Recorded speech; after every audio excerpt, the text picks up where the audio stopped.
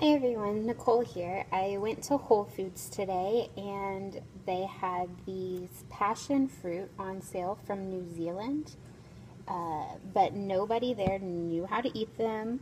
So I had to do a little bit of Googling and I thought I would share with you all what I found out so that way you know. Um, this is what the inside looks like.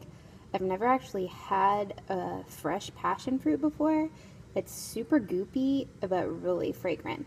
So what I found out is if it's ripe, it's wrinkly on the outside and it's this darker color.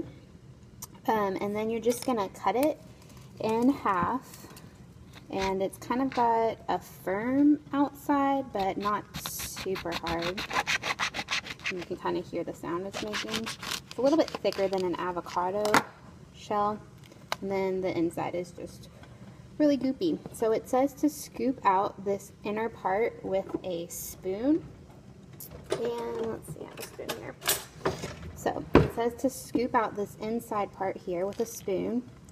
And it's really sweet. Um, it says that you can eat the membrane on the inside, but it's really tart.